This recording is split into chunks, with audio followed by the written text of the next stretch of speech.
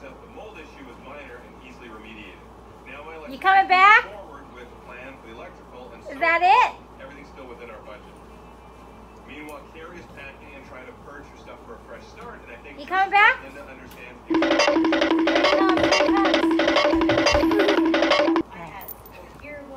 Stop.